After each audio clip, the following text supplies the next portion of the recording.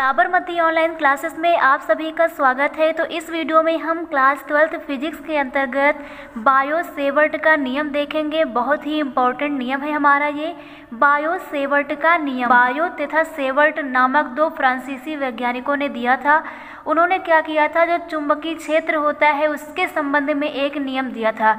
किसी चालक तार के चुंबकीय क्षेत्र के संबंध में एक नियम दिया था, जिसे हम लोग कहते हैं बायो सेवर्ट का नियम। तो यहाँ पर हम लोग लिखेंगे, सन 1820 ईस्वी में फ्रांसीसी वैज्ञानिक, कौन से वैज्ञानिक थे? फ्रांसीसी वैज्ञानिक फ्रांसीसी वैज्ञानिक बायो तथा सेवर्ट ने नाम क्या है वैज्ञानिक का? बायो तथा सेवर्ट ने तो फ्रांसीसी वैज्ञानिक बायो तथा सेवर्ट ने बायो सेवर्ट ने किया क्या 1820 ईस्वी में? चालक के चालक के द्वारा चारों ओर उत्पन्न, चालक के द्वारा चारों ओर उत्पन्न चुंबकीय क्षेत्र चालक के द्वारा चारों ओर उत्पन्न चुंबकीय क्षेत्र, कौन सा क्षेत्र होगा यहाँ पर? चुंबकीय क्षेत्र। तो चुंबकीय क्षेत्र के संबंध में, चुंबकीय क्षेत्र के संबंध में एक नियम दिया, एक नियम का प्रतिपादन किया। तो एक नियम का प्रतिपादन किया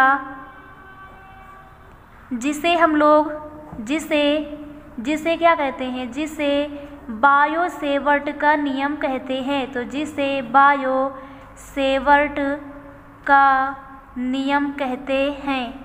जिसे बायो सेवर्ट का नियम कहते हैं। तो यहाँ तक आप लोगों को क्लियर हो गया होगा कि 1820 ईस्वी में फ्रांसीसी वैज्ञानिक बायो तथा सेवर्ट ने क्या किया, जो चालक है उसके चारों ओर उत्पन्न चुंबकीय क्षेत्र के संबंध में एक नियम का प्रतिपादन किया, जिसे हम लोग कहते हैं बायो सेवर्ट का नियम। तो इसमें सबसे इम्पोर्टेंट जो चीज़ है ना, वो ये है कि इसका हम फिगर समझ लें कि इसमें किस प्रकार से जो हमारा चालक होता है, उसके चारों ओर चुंबकीय क्षेत्र उत्पन्न होता है। तो सबसे पहले हम लोग इसका फिगर देख लेते हैं। तो सबसे पहले इस प्रकार से यहाँ पर हम लोग क्या कर लेते हैं, एक चालक तार ले लेते हैं। सबसे पहले हमने क्या कर लिया, एक चालक तार ले लिया, जिसकी लंबाई जिसकी लंबाई हम लोग मान लेते हैं कि डेल्टा एल है। तो ये चालक तार है, जिसकी लंबाई कितनी है, डेल्टा एल है। अब इस चालक तार से कुछ दूरी पर एक बिंदु यहाँ पर ले लेते हैं, पी। एक बिंदु हमने क्या ले लिया? पी ले लिया। इसी बिंदु पी पर हमें चुंबकीय क्षेत्र ज्ञात करना है। इसी बिंदु पी पर हम लोग क्या करेंगे?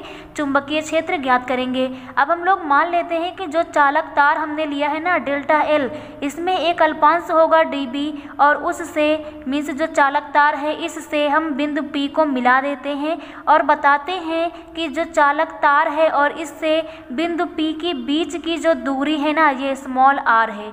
चालक तार से बिंदु P तक की जो दूरी है, वो क्या है? R है। तो यहाँ पर जो अल्पांश होगा, वो इस बिंदु P के साथ यहाँ कुछ कोण बनाएगा। तो इस चालक तार और इस बिंदु P के बीच यहाँ बनने वाले कोण को हम लोग कह देते हैं थीटा। तो यहाँ बनने वाले कोण को हम लोग क्या मान लेते हैं? थीटा मान लेते हैं। तो अब इसी बिंदु P पर हमें चुंबकीय क्षेत्र ज्ञात करना होता है। तो यहाँ पर हम बताएँगे कि जो बिंदु P है ना, इस पर जो चुंबकीय क्षेत्र उत्पन्न होगा, वो B होगा। चुंबकीय क्षेत्र उत्पन्न होगा, वो क्या होगा? बी होगा।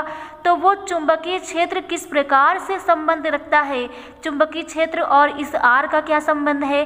चुंबकीय क्षेत्र का चालक की लंबाई से क्या संबंध है? चुंबकीय क्षेत्र का यहाँ बनने वाले कोण से क्या संबंध है? यही बताया था बायो और सेवर्ट ने। तो यहाँ पर हम लोग देखेंगे कि चुंबकीय क्षेत्र किस प्रकार से यहाँ पर संबंधित होता है।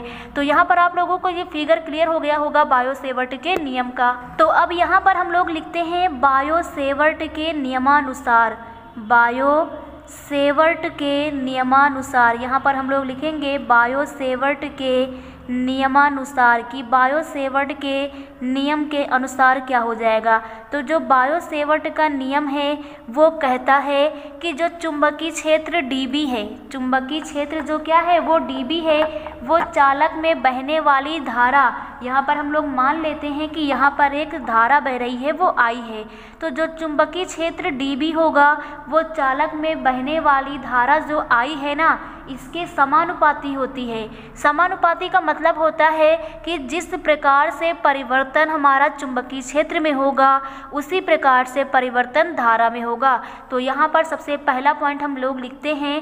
सबसे पहला पॉइंट ये लिखेंगे कि चुंबकीय क्षेत्र डी बी चुंबकीय क्षेत्र चुंबकीय क्षेत्र डी बी चुंबकीय क्षेत्र डी बी चालक में बहने वाली धारा चालक में बहने वाली धारा, चालक में बहने वाली धारा, आई के, बहने वाली धारा क्या है? आई के समानुपाती होती है, समानुपाती होती है। समानुपाती को ही हम लोग अनुक्रमानुपाती भी बोलते हैं। तो धारा के समानुपाती होती है।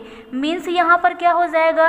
तो मीन्स यहाँ पर ये यह हो जाएगा कि जो डी है ना डी वो क्या हो जाएगा? समानुपाती हो जाएगा आई के। समानुपाती का मतलब है कि अगर आई बढ़ेगा तो डी भी बढ़ेगा मीन्स चुंबकीय क्षेत्र बढ़ेगा तो धारा बढ़ेगी, चुंबकीय क्षेत्र घटेगा तो धारा घटेगी तो ये होता है हमारा समानुपाती। तो पहला पॉइंट आप लोगों को क्लियर हो गया होगा। नेक्स्ट हम लोग लिखते हैं दूसरा पॉइंट दूसरा पॉइंट ये कहता है कि जो चालक का चुंबकीय क्षेत्र डी है ना, जो चालक का चुंबकीय क्षेत्र डी है, वो चालक की लंबाई डेल्टा एल के अनुक्रमानुपाती होता है मीन्स समानुपाती होता है। तो पहला पॉइंट आपको बताना है कि धारा के समानुपाती होगा चुंबकीय क्षेत्र दूसरा पॉइंट बताना है कि जो चुंबकीय क्षेत्र होगा ना, ये इसकी लंबाई, जो चालक है ना, इसकी लंबाई के भी समानुपाती होगा। तो यहाँ पर हम लोग दूसरा पॉइंट लिखते हैं कि चुंबकीय क्षेत्र, क्या लिखेंगे? चुंबकीय क्षेत्र चुंबकीय क्षेत्र, चालक की लंबाई, चुंबकीय क्षेत्र, चालक की लंबाई चालक की लंबाई हमने कितनी मानी है? डेल्टा एल तो चुंबकीय क्षेत्र चालक की लंबाई डेल्टा एल या डी एल चुंबकीय क्षेत्र चालक की लंबाई डी एल के समानुपाती होती है। चुंबकीय क्षेत्र क्या होता है? समानुपाती होता है। तो समानुपाती होती है, यहाँ पर इस प्रकार से हम लोग लिख देंगे, समानुपाती होती है। चुंबकीय क्षेत्र जो होगा, चालक की लंबाई डीएल के समानुपाती होती है। तो इस प्रकार से यहाँ से आ जाएगा कि जो डी होगा ना, वो अनुक्रमानुपाती या फिर समानुपाती हो जाएगा किसके? डीएल के। याद रखिएगा, अनुक्रमानुपाती और समानुपाती का मतलब होता है सेम लेकिन जो व्युतक्रमानुपाती होता है ना, वो अलग होता है। अनुक्रमानुपाती या समानुपाती का मतलब होता है, जो परिवर्तन इधर आगे होगा, वही परिवर्तन इधर पीछे भी होगा। तो दूसरा पॉइंट भी आप लोगों को क्लियर हो गया होगा। इसके बाद हम लोग तीसरा पॉइंट लिखते हैं।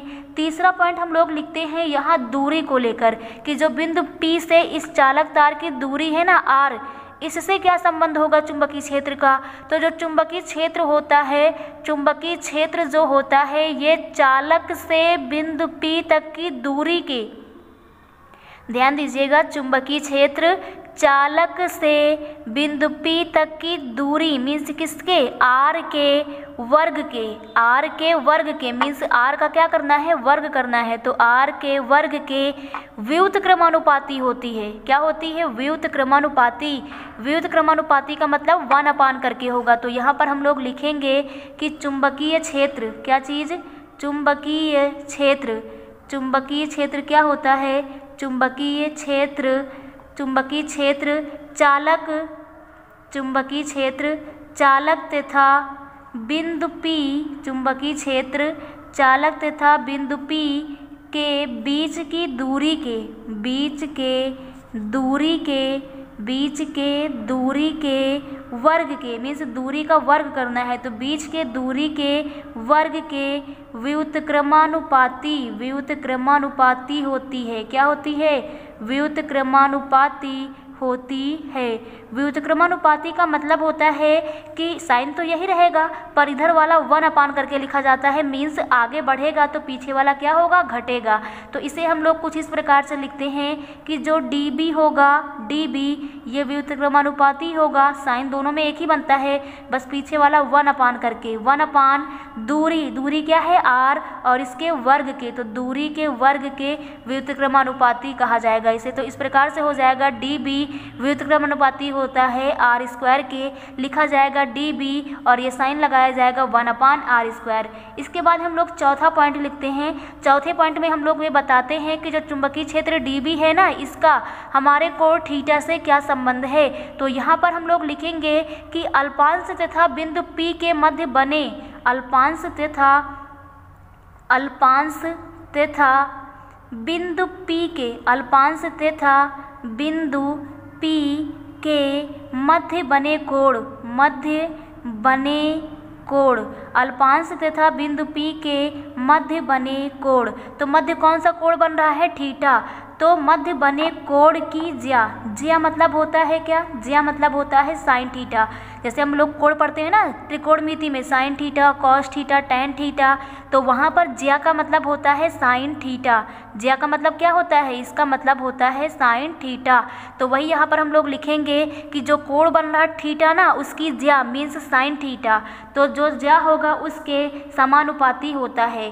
तो अल्पांश तथा बिंदु पी के मध्य बने कोण की ज्या के चुंबकीय क्षेत्र, ज्या के चुंबकीय क्षेत्र चुंबकीय क्षेत्र चुंबकीय क्षेत्र समानुपाती होता है। चुंबकीय क्षेत्र क्या होता है? समानुपाती होता है। तो यहाँ से आपको आसानी से याद हो जाएगा। तो यहाँ से हो जाएगा हमारा क्या? हम लोग यहाँ पर लिखेंगे कि जो डी होगा, जो डी होगा, वो क्या हो जाएगा? समानुपाती हो जाएगा साइन थीटा के तो इस प्रकार से आप लोगों को क्लियर हो गया होगा कि केवल एक ही में व्युत्क्रमानुपाती है, किसमें? दूरी के वर्ग के व्युत्क्रमानुपाती. बाकी जो हम लोग धारा बोलेंगे, जो हम लोग चालक की लंबाई बोलेंगे, और जो हम लोग बीच में बनने वाले कोण की ज्या बोलेंगे, इन सब में समानुपाती होता है. केवल चुंबकीय क्षेत्र जो होगा, वो चालक और बिंदु P के बीच की दूरी के वर्ग के व्युत्क्रमानुपाती होता है। तो इस प्रकार से आपको ये चार इक्वेशन दिख रही होंगी। फ़र्स्ट सेकेंड थर्ड और फोर्थ तो अगर हम इनको एक एक करके ना बोलना चाहें तो इनको हम एक साथ भी बोल सकते हैं कि डायरेक्ट कि चुंबकीय क्षेत्र किसके समानुपाती और किसके व्युत्क्रमानुपाती है। तो यहाँ पर हम लोग लिखेंगे, इसको हम लोग समीकरण मान देते हैं। इसको हम लोग इक्वेशन फ़र्स्ट कह देंगे। इसको इक्वेशन सेकंड कह देंगे, इसको इक्वेशन थर्ड कह देंगे और इसको इक्वेशन फोर कह देंगे। तो यहाँ पर हम लोग लिखेंगे, समीकरण एक, दो, तीन तथा चार को सम्मिलित रूप से लिखने पर। तो समीकरण एक, कॉमा दो, कॉमा तीन तथा चार को सम्मिलित, चार को क्या करने पर? सम्मिलित रूप से लिखने पर। सम्मिलित रूप से लिखने पर। तो सम्मिलित रूप से इसे हम लोग लिख देंगे तो क्या हो जाएगा? सम्मिलित रूप से अगर हम कहेंगे तो हम ये कहेंगे कि जो हमारा डीबी है, अनुक्रमानुपाती होता है किसके? सबसे पहला हमारा क्या आया था? सबसे पहला हमारा आया था आई और उसके बाद डी एल उसके बाद हम साइन थीटा क्योंकि ये तीनों हमारे ऊपर होंगे, समानुपाती होंगे तो समानुपाती के साथ में इनको हम रखेंगे तो यहाँ से आ जाएगा आई क्या आ जाएगा आई आ जाएगा। डी एल आ जाएगा साइन थीटा आ जाएगा और जो हमारा वन अपॉन करके था, इसमें वन है तो वन का मल्टीप्लाई होगा तो यही बचेगा तो डायरेक्ट हम लोग लिखेंगे अपॉन आर स्क्वायर तो यहाँ से हमारा आ जाएगा कि जो डी बी होता है, वो अनुक्रमानुपाती होता है I D L sine theta के तथा व्युत्क्रमानुपाती होता है आर स्क्वायर के. तो आप लोगों को इस प्रकार से क्लियर हो गया होगा कि बायोसेवर्ट का नियम मुख्यतः ये है. इसमें चार पॉइंट हैं जो आप लोगों को क्रम से याद हो जाएँगे. धारा के समानुपाती होता है, चालक की लंबाई के समानुपाती होता है, बीच की दूरी के वर्ग के व्युत्क्रमानुपाती होता है और बनने वाला जो कोण है उसकी ज्या के समानुपाती होता है। तो इस प्रकार से आप लोगों को आसानी से क्लियर हो गया होगा कि बायो सेवर्ट का नियम क्या है। बायो और सेवर्ट दो फ्रांसीसी वैज्ञानिक थे और 1820 ईस्वी में बायो सेवर्ट ने अपना ये नियम दिया था चुंबकीय क्षेत्र के संबंध में। तो आप लोगों को बायो सेवर्ट का नियम अच्छे से क्लियर हो गया होगा। Thank you.